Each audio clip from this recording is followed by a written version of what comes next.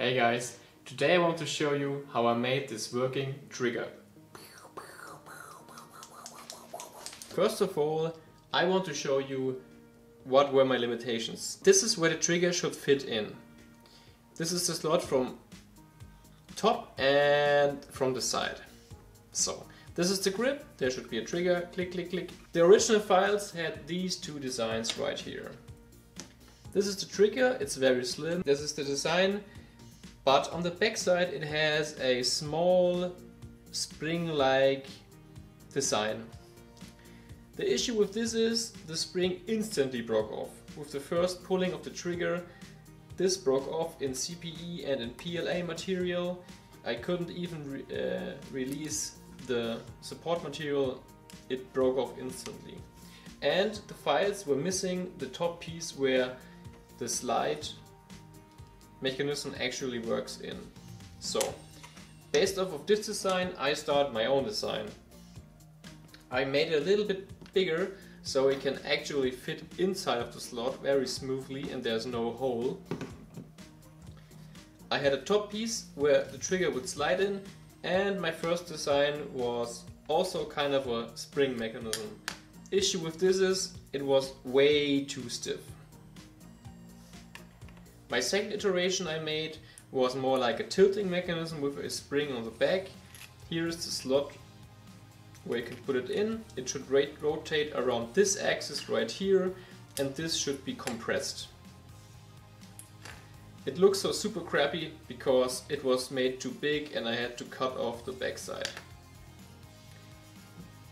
Same issue right here, it's way too stiff, you can't really feel any trigger movement. Then I went with another design. You have a top piece, you have a sliding piece and you have a back piece. Inside of these pieces are little circular slots where it can fit in a metal spring.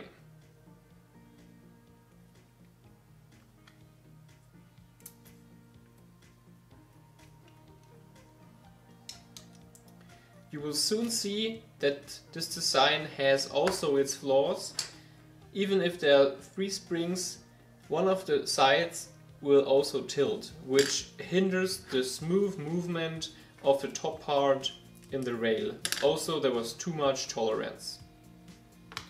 Next up, I also changed the design again. It's a two-part piece again, but still the same issue. There's too much movement in the slot piece, and if I make it way smaller, I cannot move the part at all.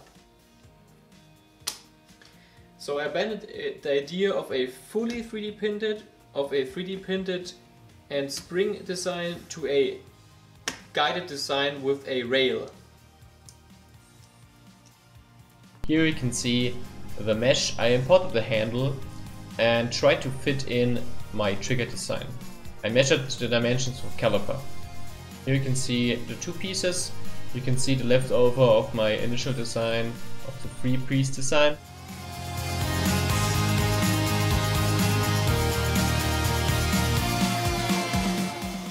What is kind of important is that I added draft angle right and left of the top piece to make it fit perfectly into the slot.